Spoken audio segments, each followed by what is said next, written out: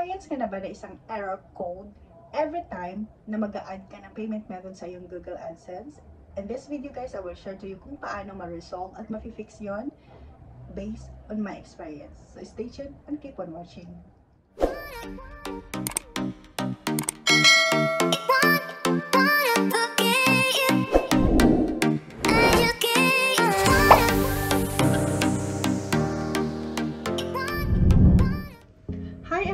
I am Jem and welcome back to my channel. So for today's video guys ay isi-share ko sa inyo at papakita ko sa inyo steps by steps kung ano yung mga ginawa ko para ma-solve ang aking Google AdSense sa isang error na nag-a-appear siya every time na mag-a-add ako ng Google AdSense. So ang code error na to guys ay code OR dash BAIH dash 10. So, isa siyang type of code of error.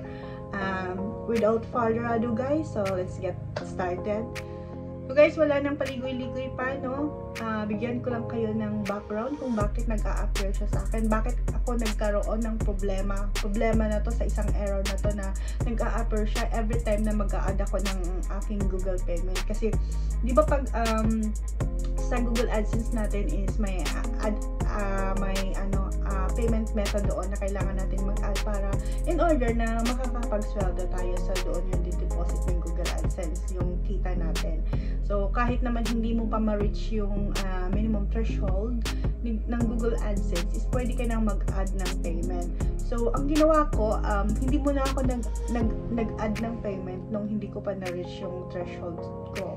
Pero nung na-reach ko na yung threshold ko, um, dun ako nag, ano, nag, uh, naisipan na mag-add ng payment. So, ang ano kasi guys, ang location ko kasi is dito sa Hong Kong. So, kailangan ko mag-add uh, ng payment ng uh, dito din sa bangko din sa Hong Kong. So, yun nga nga guys, nag-add na ako ng payment method ko, ng name, and then bank account ko, number, everything, code ng bank. So, everything talaga is ano na, um, ano na yun, ano na yun, tama lahat. So, every time na kiniklik ko yung ano, kiniklik ko yung add, so tala, add payment, so talagang lumilitaw tong code na to. Every time, every time. So, yun na nga guys, because, uh, first time ko no, first time ko na makakapag-sweldo. So, excited pa naman ako doon. Kaya, nung nag-add payment na ako, talagang word na word ako. Kasi hindi ko siya ma-add payment yung ano ko, yung account ko. Okay naman lahat. Um, word na word ako. Kasi paano ako sa sweldo? Paano ko makukuha yung sweldo ko, di ba? Error ang lumalabas sa Google AdSense. So, hindi ko talaga siya ma-add payment. Ngayon, marami nang nag-ano sa akin sa isip ko na, ano, bakit kaya, bakit kaya, anong problem, anong problem ng Google AdSense ko, bakit lumalabas tong error na to, yung tinatawag na OR uh, BAIH-10 code code siya, error, error, error. Ganun. So, talagang panic na talaga ako kung ano na nang naglalaro sa isip ko. So, nagtanong-tanong naman ako sa mga ano ko, oy, anong nangyari, ganun, ganun. Anong, ano kayang pwede kong gawin? May nag-advise naman sa akin na friend, guys, na mag-change na lang daw ako ng address. Baka daw yung bank ko is, uh, hindi siya po, hindi siya okay. So, kaila, mag-change na lang daw ako ng address. At para yung bank ko sa Pilipinas, yun yung baka daw, okay daw yun. So, nagda-doubt naman ako na mag-change ako ng address kasi dyan na eh, kukunin ko na lang yung ano ko eh. Kasi may ano naman ako dito, may bank naman ako dito sa Hong Kong.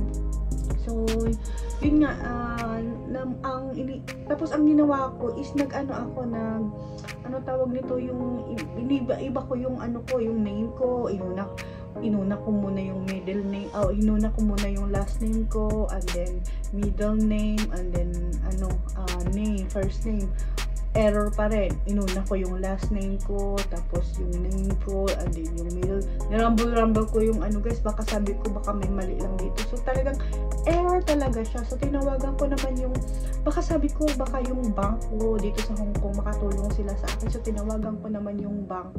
Um, sinabi naman nila sa akin na kung okay naman daw yung mga information na nilagay ko doon sa ano ko sa pag-add ng payment ko. So uh, sabi nila uh, they think that it's not the ano daw uh, hindi daw yung problem ng bangko. Sabi ko sa saan mo ba siya ina-add? Sabi ko dito sa Google AdSense dito sa YouTube. So wala talaga silang idea kung anong company niya. Ano bang company yun na ganyan ganyan sabi ko Google AdSense sa YouTube. So hindi nila alam. Sabi niya ay sorry wala wala wala kaming matutulong sa dahil hindi nila alam yun. Doon ka na lang mag mag ano mag, kung ano yung company na gusto mong i-add ng ano doon ka na lang mag ano kung anong problem.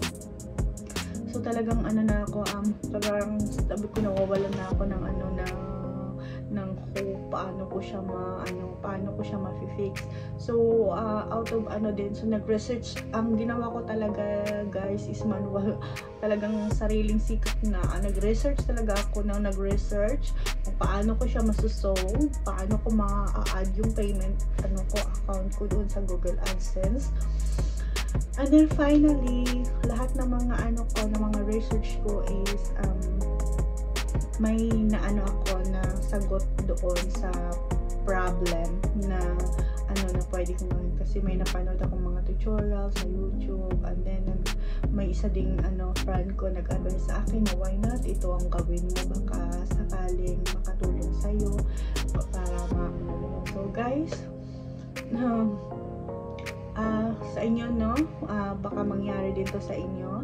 Uh, nag-case ko at uh, maybe this video will help you know at uh, magkaroon kayo ng idea din. Para din makatulong ako sa inyo kaya ito ginawa ko itong video to. So pakita ko sa inyo guys kung ano yung ginawa ko dito sa uh, para mas successfully added na yung ano ko uh, payment ko. So papakita ko sa inyo.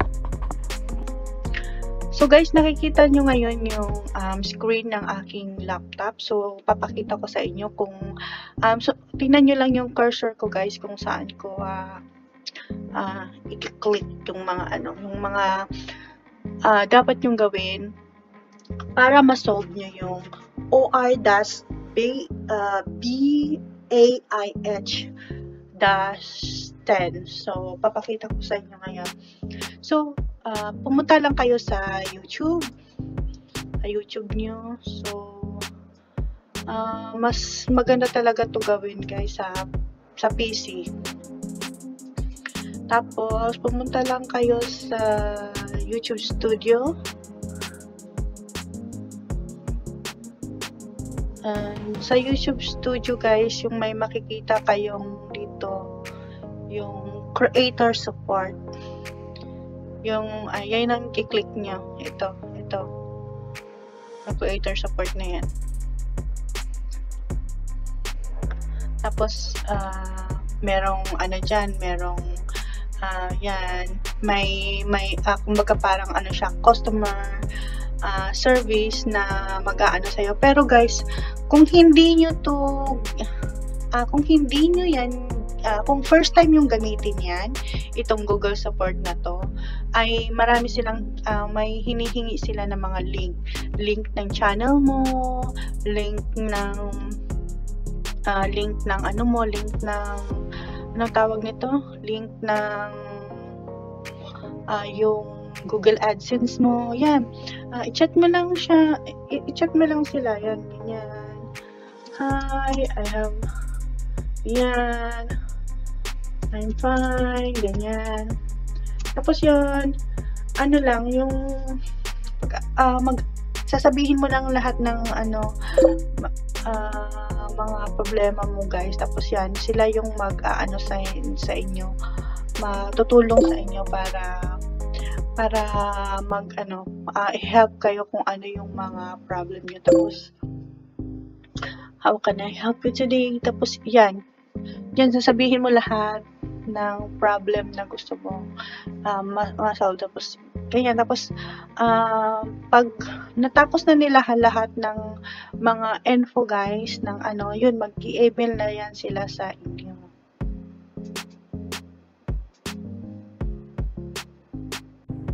O di ba guys, sobrang dali lang, sobrang dali lang gagawin mo.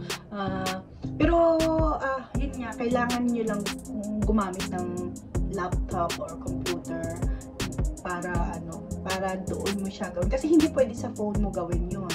Kasi may mga pupuntahan kang link eh, so hindi dapat maano, hindi dapat mawala yung chat na yun. So, kailangan mo siyang gawin talaga sa computer. And then guys, mismo yung yung nakausap ko sa uh, YouTube support. So, hindi rin, kasi sabi niya, okay, wait, wait a moment, I will check, gumaganon siya. Uh, hindi rin niya kayang effects yon So, uh, sinabi niya sa akin na, um, tapos, ano, sinabi niya sa akin na, iaano problem ko sa internal team ng YouTube support. So, kailangan yun ng, ano guys, kailangan, uh, kay, uh, it's a type of ano eh, ang ano doon, na sinabi niya, it's a type of glitch ng ano. So sa system yun guys, wala akong magagawa kahit complete yung information na nilagay ko doon. Kung sa system mismo yun ng Google AdSense, so sila ang makaka-fix talaga doon. Hindi ano, hindi hindi ako, hindi ako ang problema. So system yun ng Google AdSense. Tapos yun guys, nag-email siya sa akin na sinabi na, uh, papakita ko sa inyo yung email. Ito, nag-email siya sa akin And then, sinabi niya sa akin na pagkatapos ng pag-uusap namin, kasi after niya lahat makuha yung information ko, anong hindi naman niya kayang iso. So, sabi nga niya, i-refer niya yung problem ko sa sa internal team ng YouTube support. So, tapos nag-email naman siya. Sabi niya na, uh, ano lang daw, um, magre-reach out daw sila sa akin a couple of days after, ano lang yata, after 3 days, nag-email back naman sila sa akin na na-resolve na daw nila yung ano, na-resolve na daw nila yung issue ng aking Google AdSense at pwede na daw ako mag-add ng payment within 48 hours ng pagkano nila. So, uh, ako naman super excited ko talagang nag-ano din ako, inad ko na yung ano ko doon. And, ano, happy happy ako dahil successful successful yung pag-add ng payment ko. Na-add na yung payment ko, wala na yung error, error na yun. Wala nang lumalabas ng mga error. So, I am, ano talaga, I am very na, at nakasahod na rin guys. Na, nakasahod na rin ako guys. At uh, ang uh, i-vlog ko. So, abangan nyo yung vlog ko next on sa aking sahod, kung magkano. So, um, i-share ko yun sa inyo. So, yun nga guys. Hopefully na natulungan ko kayo sa uh, sa aking video na to dahil uh, maybe hindi natin alam sa in the future no na magkaroon kayo ng problem kung ano man so doon lang kayo guys mag-a-ask na kasi wala namang ibang ano guys wala namang ibang mag-help